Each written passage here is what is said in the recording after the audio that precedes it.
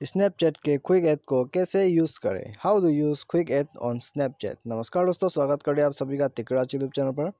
तो दोस्तों, आज मैं आप लोगों को इस वीडियो में बताऊँगा कि आप कैसे स्नैपचैट पर क्विक ऐप को यूज़ कर सकते हैं, ठीक है? तो वीडियो के साथ बने रहिए और वीडियो को पूरा देखें।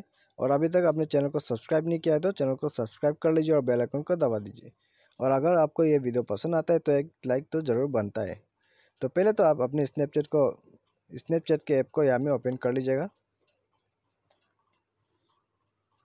तो यहाँ में ओपन करने के बाद आपको जाना है आपके प्रोफ़ाइल में। तो प्रोफ़ाइल में आप चले जाइए और उसके बाद आपको यहाँ में एड फ्रेंड का ऑप्शन मिल जाएगा, ठीक है? तो एड फ्रेंड का ऑप्शन जो है, इसमें आप क्लिक कर दीजिए और उसके बाद आपको यहाँ में क्विक एड का ऑप्शन मिल जाएगा। तो यहाँ में आपको क्या करना है सिंपली एड का बटन में क्लिक करते जाइए और यहाँ में क्लिक होते जाएगा, ठीक है? तो आप क्लिक करते जाइए।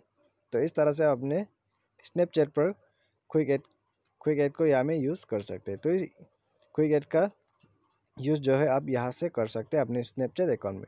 तो दोस्तों, उम्मीद करें यह वीडियो ने आपको हेल्प किया होगा। तो उम्मीद करें वीडियो पसंद आएगा थैंक्स फॉर वॉचिंग